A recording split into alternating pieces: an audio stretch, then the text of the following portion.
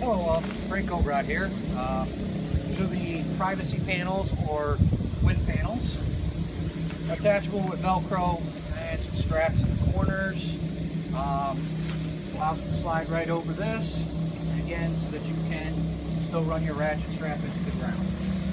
So, just hook her on. You stretch her over.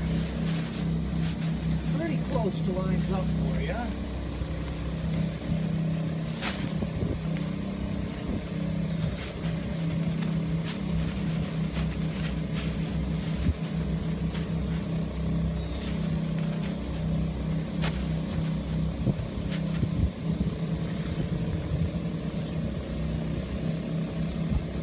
And again, the hook's down in the bottom corners as well.